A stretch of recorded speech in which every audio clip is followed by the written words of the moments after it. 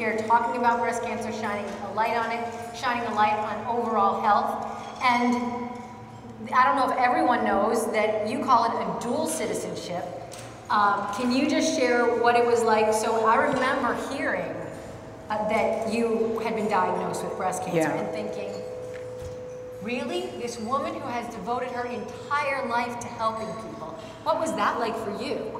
Well, first, before I answer that, I just want to thank you because uh, for your sharing your story. People see you, they love you, they respect you, and the fact that you're sharing your story gives them the confidence and makes them makes them feel not alone. And uh, and you've been it's been hugely therapeutic to a lot of people, and it was a gift that you've given, and so I want to thank you for that. And uh, you know, just because I'm a breast oncologist and I've been in the field for just over 30 years now, did not give me a free pass. You know, uh, that breast cancer is the most common cancer to affect women. 30, 29%, uh, basically 30% of all cancers in women start in the breast. You know, it happens to be the favorite place for cancer to start in a woman's body. And only 10% of breast cancers are due to one of those single genes that produces a high risk, like what Angelina has. 90% um, are due mostly to how you lead your everyday life. So I didn't expect to be, you know, to get a free pass. I knew I was at risk like anybody else. And I went for my mammogram at Main Line Health at Lankenau, and I got the call, you know, that call from the, the, the doctor saying that uh, they see something they're concerned about, it needs to be checked out further. And so that made me, that one thing led to another, and uh, I became the dual citizen, the, the doctor and the patient. And I can say that I'm lucky to have received the best care possible.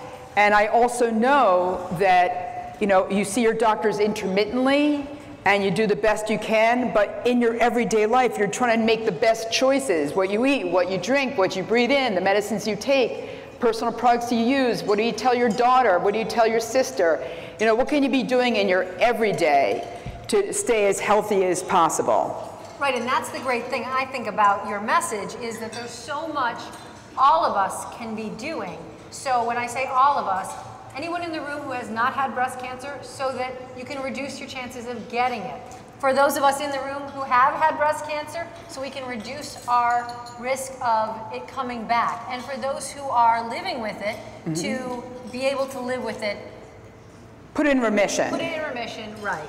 And so there's lots of things that people can do because you made the point that only 10%, right, only 10% is hereditary.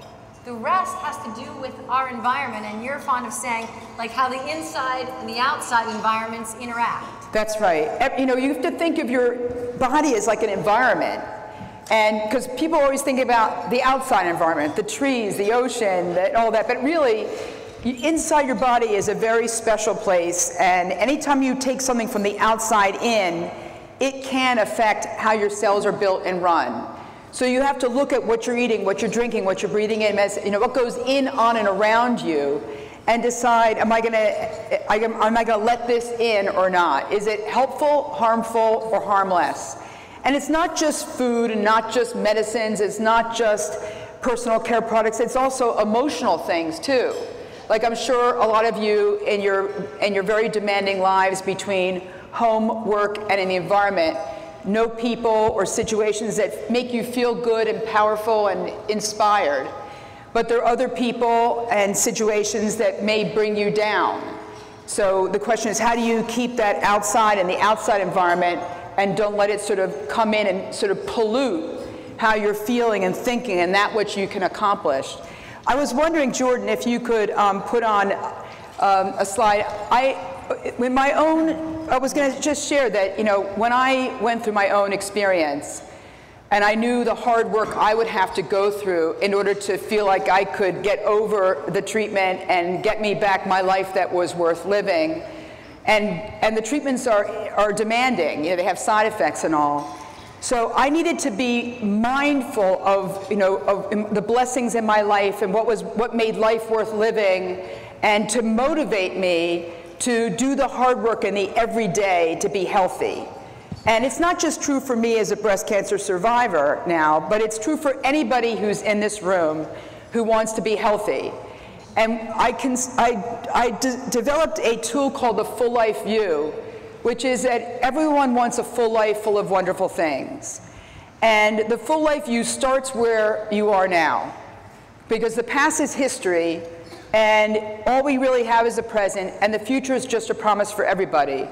But you can take some very meaningful steps in your everyday to hope for and plan for a full life. And so I'm just sharing my, my friend and colleague, uh, Rita, who's with me today. Um, you know, I met her at Lankenau, and um, she helped me develop the Full Life View. And the Full Life View starts, I use it as a tool with my patients. So I first ask, you know, ask the patient, you know, how can I, how can I be most helpful to you today? And tell me about your life and what you, what you dream about, what you want, what you're looking forward to, what is on your calendar, what do you, what's, what are your, do you plan trips? I mean, are there, do you have graduations, weddings, children's, your grandchildren? What, you, what makes your life rich, blessed, and wonderful?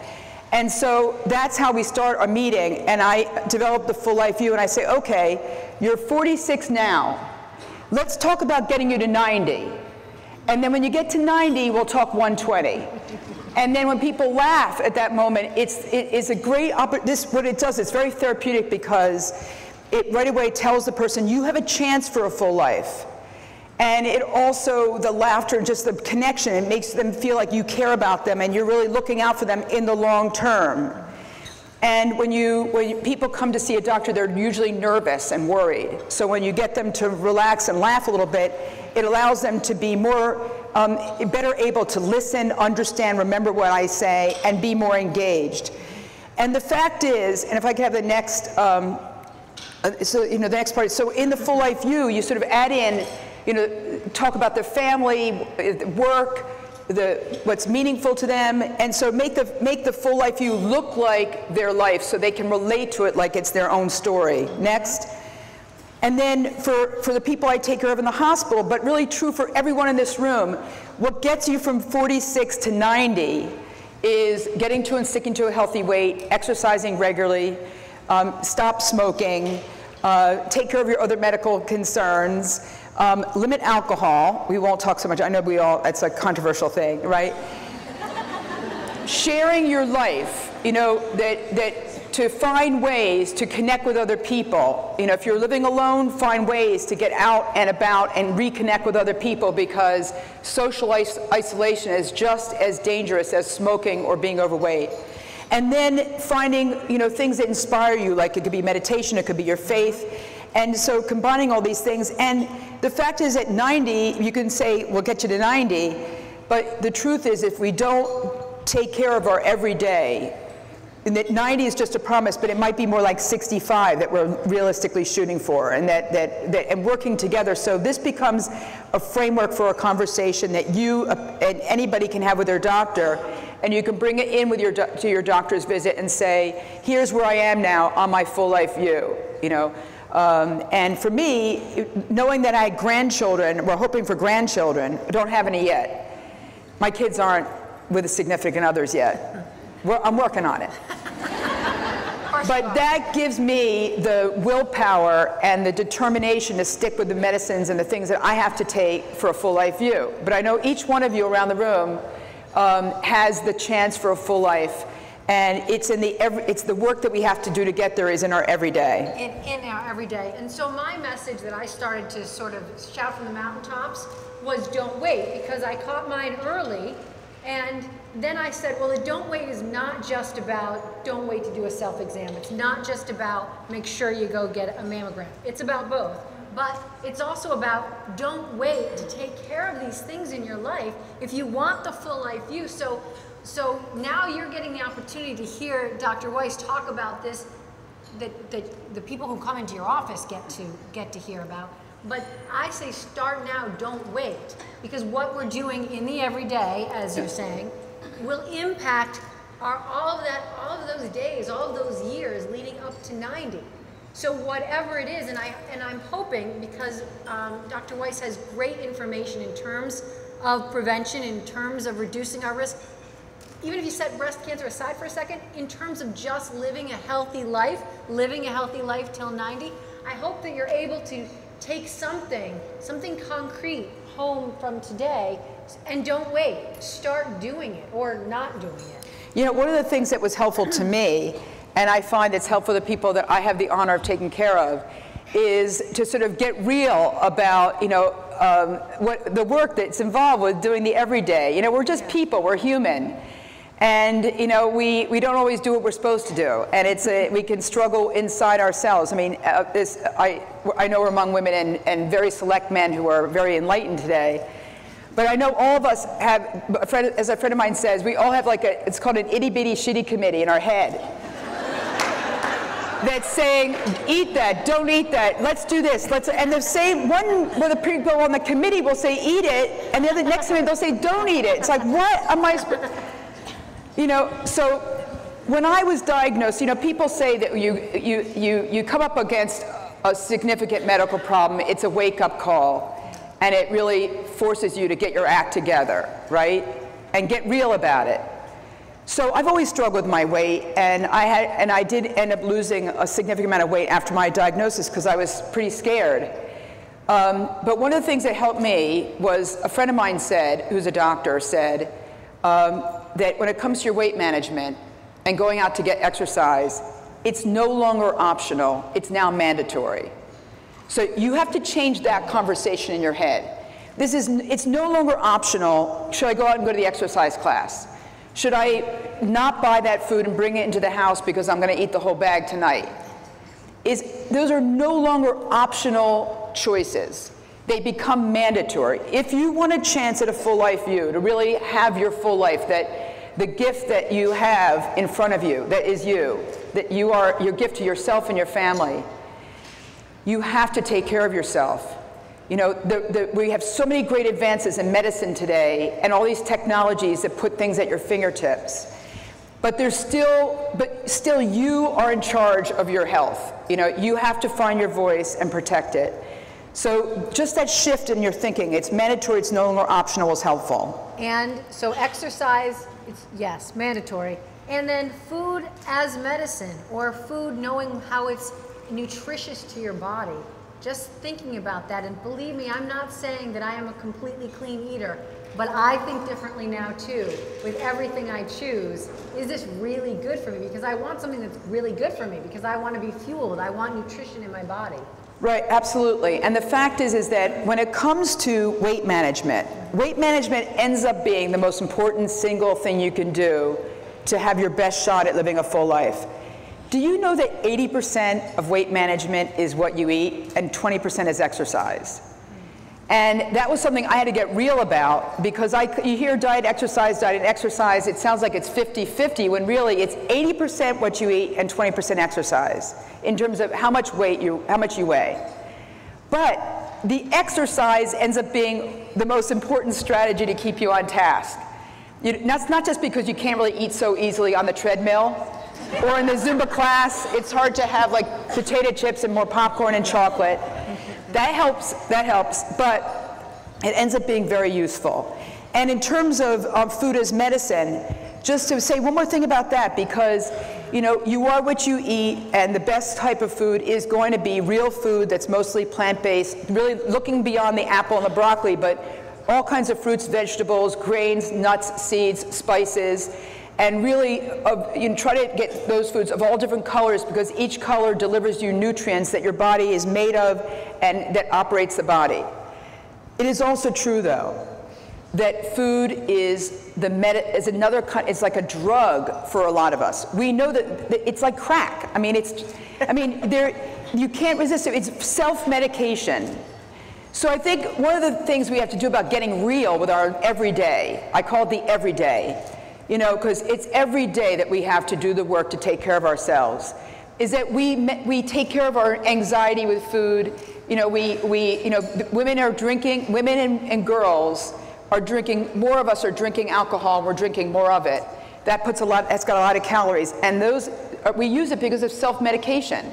You know, relax at the end of the day to reward ourselves. Um, we're upset about something, we want to have, be, have fun with somebody, you know, whatever. It's so much a part of everything.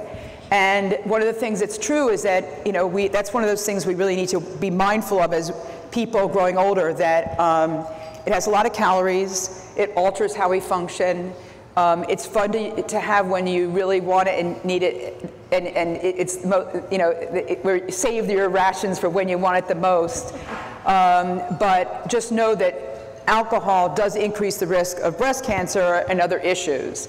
And even a few drinks, like if you stick to three or fewer drinks per week, you'll get the cardiovascular benefit, and, it does, and you'll be within the safe zone relative to breast cancer. So you mentioned some of us go to alcohol for stress reduction. That's another big piece of it is our sort of emotional health. It's all mind, body, spirit, and you have to address all of it if you really want to get to 90, live a healthy life, and reduce your risk of breast cancer. So, and there's all kinds of ways that you can do that. Meditation, yoga, whatever your spiritual tradition is. Right, and your mind is your, your most powerful organ. And if it's not working for you, then you got to work on it. And, uh, you know, even for the weight management, just as an example about mindfulness, you know, if you eat really quickly, you didn't you miss the opportunity to enjoy what you eat. But if you actually slowed down and you would actually eat less and you, if you paid attention to what you're doing, you might enjoy that what you're eating more. So one of the, one of the things that I think is true for everyone in this room, for sure women on the move, is that we're multitaskers, right? We're just constantly doing a million things at once, and it's amazing, amazing how many things we get done in one day. I, I, I, know some of you, but if I had a conversation with each one of you and the enlightened men who are here today, I would be amazed by how much you get done in one, in one day. Be, it would blow me away, I know. And I would hopefully learn how to do your multitasking skills so I can do it better. But there are certain things that you shouldn't multitask on, okay? One is there's a safety issue. You know, you shouldn't be walking, talking on the cell phone, driving in a car. You shouldn't do that. We're too old for that. No one should do that. That puts you at danger. Okay? If if I'm at this dinner table and my husband's there and my cell phone goes off and I look down at it, I see the look on his face. I know I shouldn't be multitasking. When he's talking to me, I need to give him my full attention. Now, sometimes when I give, I give him some extra attention. He'll say, he'll say, he comes home from work and he'll say, um, so the manager, you know, what did the manager say? I, I give him so, responsive yeah. listening, and it's like way too, way too much attention. But then I get the conversation over faster and I go back to other things I wanted to do. it's a trick.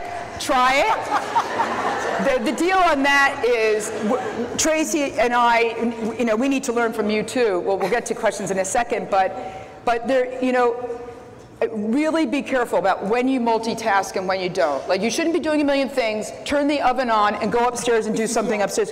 You're gonna set the house on fire, okay?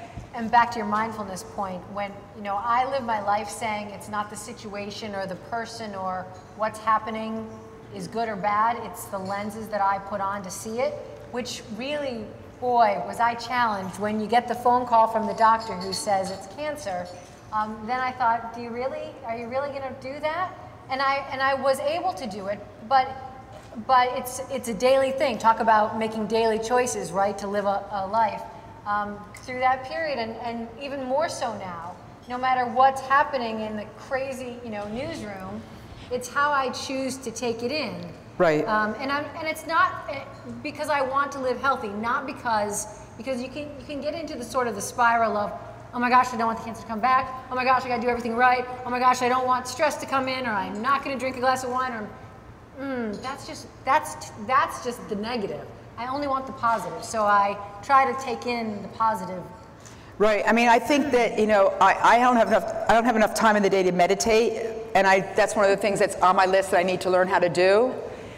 But I try to take at least a moment um, and uh, think, you know, think about a few things each day. First of all, I'm very grateful. I'm, a very, I, I'm very lucky, um, not just to have my health now, but to have the great people I work with, to work at Main Line Health and to work at breastcancer.org and have great people. So I have a great family, and so I feel very blessed.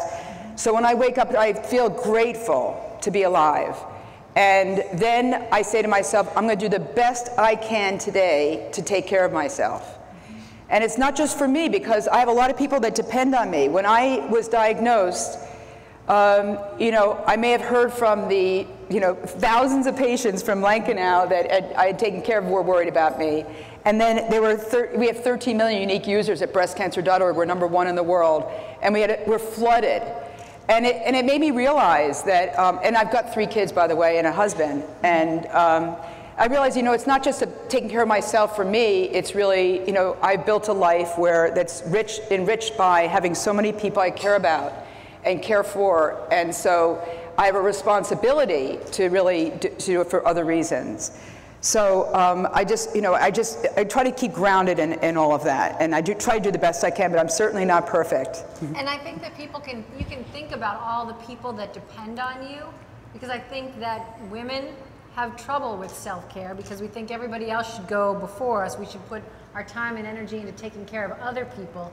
But the reality is the self-care comes back and take care of yourself, and then you'll be able to take care of any and all people who depend on you. Right, right, absolutely, absolutely. You know, it starts with us, and we do, we are setting the example, and um, our family is watching us, you know, our coworkers are watching us, and in today's world where it's so transparent between Facebook and all the ways that we lead our lives, people are watching us from all corners. So, you know, uh, I, I like to set the example and do the best that I can. Right, we all, I know that we've had a number of um, events where we talk about mentoring, and a lot of women in this room mentor younger women, and we think, and we are mentoring them in business, but we need to mentor and be leaders and show them how to live a healthy life. I just want to make an, ex an example of that. Yeah. So my 83-year-old mother was, uh, we, we, were going to talk about that, was, uh, yeah. was widowed. Uh, my parents have been married for 63 years, and she was having, you know, she was having all kinds of illness, whatever, and she was in and out of the hospital with various things. My father died of, and, of dementia, and she was on her own.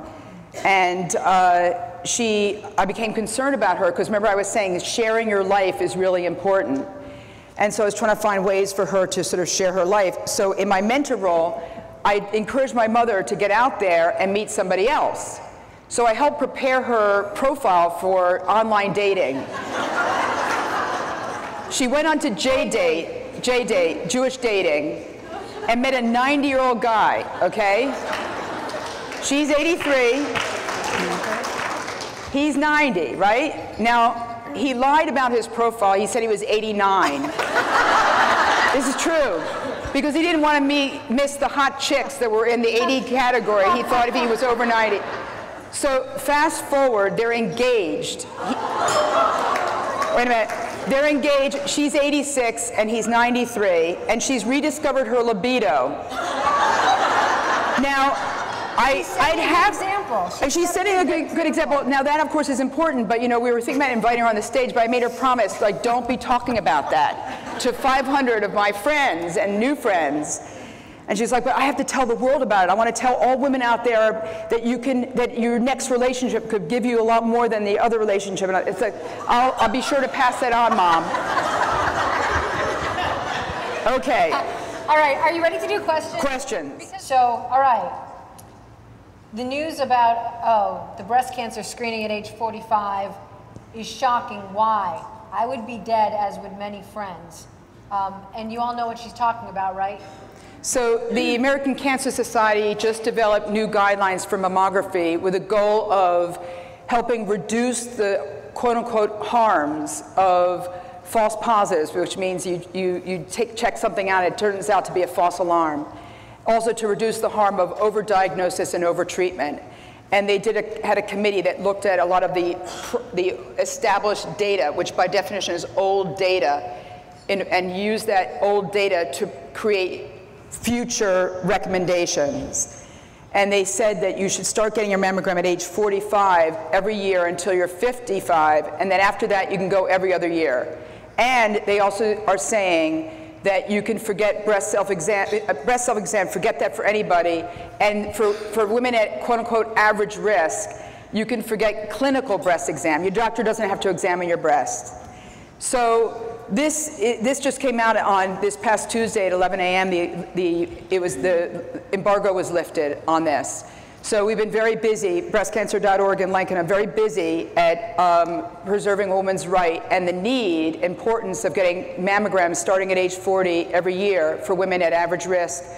And earlier, and with other tests, if you're at higher than average risk because maybe you've got a very strong family history or you have a known gene abnormality in the family, um, or maybe you had radiation to the chest as a young woman, whatever the risk factor is. Um, but the fact is, is that the problems with the recommendations are that they are made for women at quote unquote average risk, but women don't really understand risk very well. And ri risk is, is basically poorly understood and it's often underestimated. And in the category of women who think they're at average risk, there are a lot of women who are at higher than average risk. And it's also true that as we move through life, our risk goes up.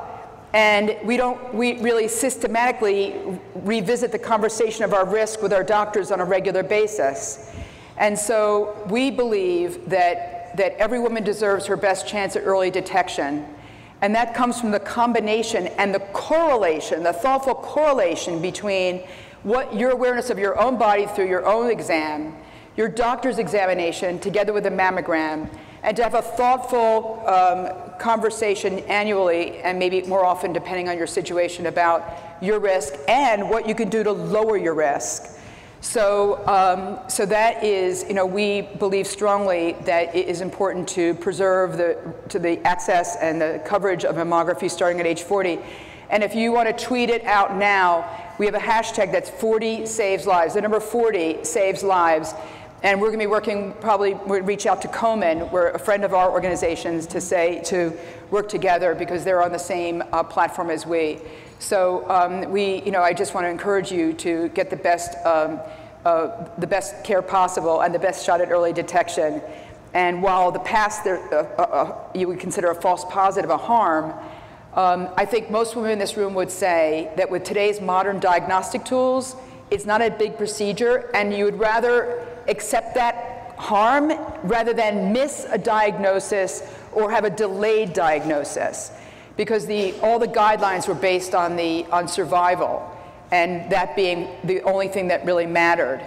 And I think if you asked everyone in this room what else matters to you, I would think that most of you would agree with me that I'd rather get diagnosed early when I can have less treatment and less aggressive treatment um, and uh, have my best chance at a full life view. So hashtag 40 Saves Lives.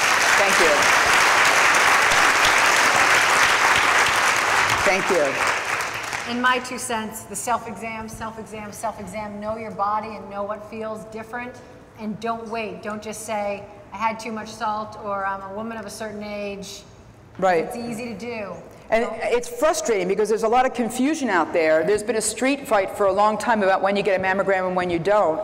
And if you ask the woman, average woman on the street who finds out you can wait till 45 and you don't have to have your doctor bother with a clinical exam, what is the message to her? The message to her is they've cured the breast cancer situation. It's not really a problem anymore. I'm off the hook. That might be one of her reactions. So people equate breast cancer risk with the start of mammograms. When the fact is, this is the truth, the fact is, is that breast cancer risk starts early in life and builds through your life. And there are very powerful papers for, that show that even at age 50, if you, if you change your lifestyle, get you to stick to a healthy weight, exercise regularly, stop smoking, drink alcohol in, limit, in moderate amount, limitations, eat a more healthier, healthy diet. And if you start at age 50, you can reduce your risk of getting breast cancer by about 50%. If we start with our daughters at age two, you can, she can, and you consistently try to lead the healthiest life possible, you can lower her risk of getting breast cancer by 70%. These are based on international data.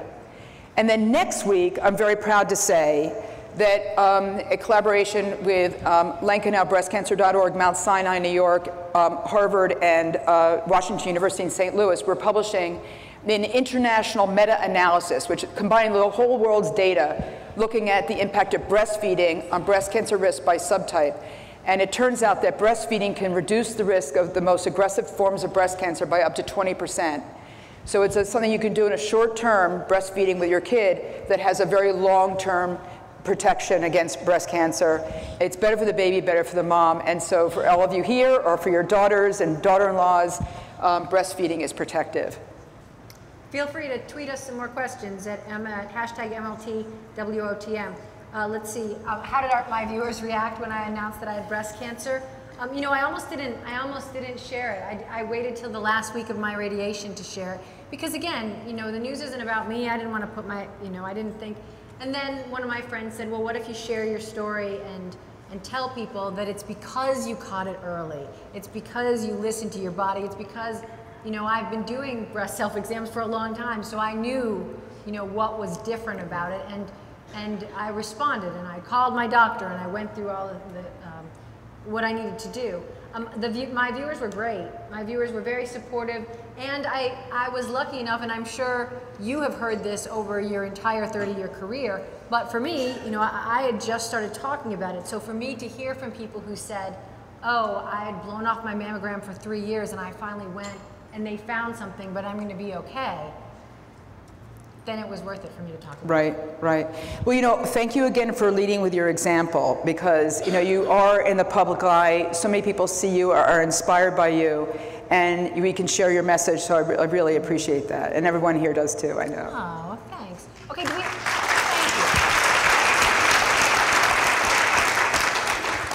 Are there any other questions? Look how fun this is. I like this. Oh. How has my spirituality helped with your treatment and life moving forward? You would agree that when you see patients, right, that uh, whatever their spiritual tradition sort of helps them because it, cal it calms them, has, gives them a good perspective mm -hmm. about it? Yeah, one of the most amazing things is, you know, I've been in practice for um, over 30 years now. And what's amazing is that there's only one of each person I take care of. There's no one size fits all. Everyone has their own unique story. And so one reason why I developed the, the, the, full life view is that I started by asking a few questions and stopping and listening. Um, one is, is that, you know, how can I be most helpful to you today? And I also asked the question, where do you get your strength from? And a lot of people will go like this. So, and that's important for me to know because um, it's not about me, it's about the individual in front of me and for, for many people, you know, the, the words, you know, that God gives you the strength to carry on, God puts people on your path to help you, um, God helps those who help themselves. You know, that's, those are, that's a source of strength and motivation and meaning that, that can connect us together. Um, the fact that I'm an atheist or, you know, or not, you know that, that's irrelevant. You know, it's really all about each person. And it may be that someone takes this as an opportunity to to, to become religious or become mindful or become more of a naturist, you know, go out and take walks or, you know, uh, figure, figure, out ways to be spiritually engaged. Mm -hmm. And what's amazing is life has so many different chapters to it, many twists and turns, that you, you, know, you really need to um, uh, question your assumptions and how you see yourself can change over time. It's, that's what makes life exciting and spontaneous and, you know, and so you, can, you can always create a lot of what is in front of you. Um, new hobbies, new books to read, new people to connect with, um, and you know, redefining yourself, enjoying fashion, changing your fashion, changing your hair, you know, taking a cooking class, getting a new job, getting volunteering, being a part of a board, being a volunteer. I mean, we have a lot of volunteers that made today possible. Thank you, but you know, you made a you made a that's a contribution. So, um, and it, I know at the Main Line Health, we have volunteers that are essential to bringing patients to where they need to go, to helping patients feel better. Um, it's a big part of what's therapeutic. So there's so many different ways that you can make a, build a meaningful life, and it's a work in progress for each one of us. Yeah, for me, for me, it was a, a, totally a big chunk. And when I took sort of that immediate inventory after you hang up the phone, and say, all right, I have a lot to be grateful for. I live near world-class health care. I have insurance. Uh, I have faith and that and, and, friends and support also a big part. I know you know interacting with people mm -hmm. and having support. Um, but it's interesting, you know. I, I, know Tara was saying I got the degree um, from the seminary and then a degree in spirituality. And up until the point I got the phone call, I thought that was all because at some point I was going to do more speaking about you know, how God has worked in my life. Um, I, maybe now I think it's because I wanted to be super prepared and have a good foundation so that I knew it was coming and, uh, and I could journey through it calmly and with peace. Mm-hmm. Wow, that's very powerful, you know. Okay, one more question. Okay. Does any history of family cancer put you at higher risk? Okay, so it's a very interesting, you know, Uh, question. But if you look at 100 women who, who were diagnosed with breast cancer, for example, 5 to 10% will have one of those single rare genes that produce a high risk like BRCA1 or 2. Then there's about 20, 25% of women who are diagnosed who probably have a, a, combination of sort of weaker genes, which in combination produce a small to increased risk. But the risk that that goes along with could be between, let's say, 10 to 40%. But if you have a breast cancer gene, it's up to 87% risk of breast cancer. So about, so overall, about 25% or so of people might have some genes running in the family that can influence the risk, but it's only 5 to 10% where it's really the main reason why that person might be at high risk for cancer. Then the fact is, though, that regardless if you inherit a gene, one gene, or a bunch of genes, there's still a lot you can do to lower your risk.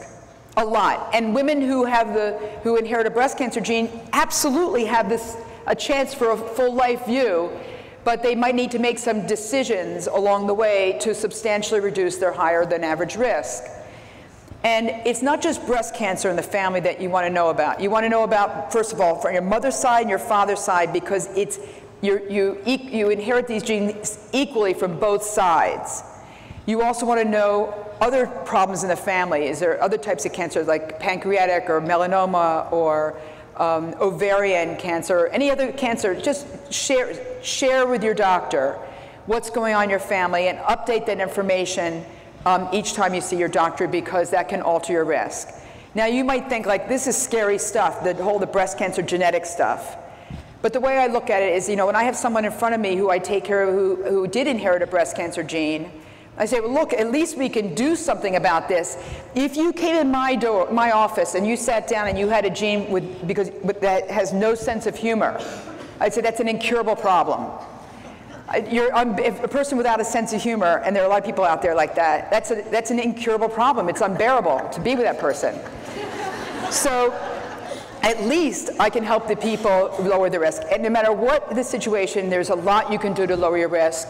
Um, Think Pink, Live Green. There are programs going out there. I know next Wednesday evening, the 28th at Lankenau, I am doing Think Pink, Live Green, and I'm going to specifically go over all the things that you can do in your everyday to lower your risk and hope for a full life you.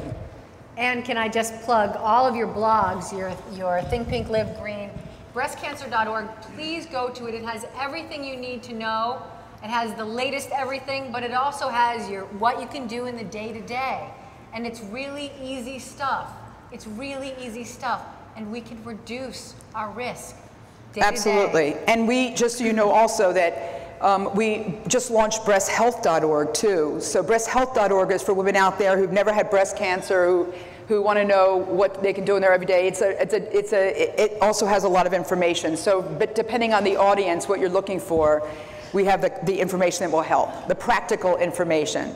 Thank you. Thank, Thank you, Tracy. Thanks for sharing. Oh, yeah. We've been together for a long time.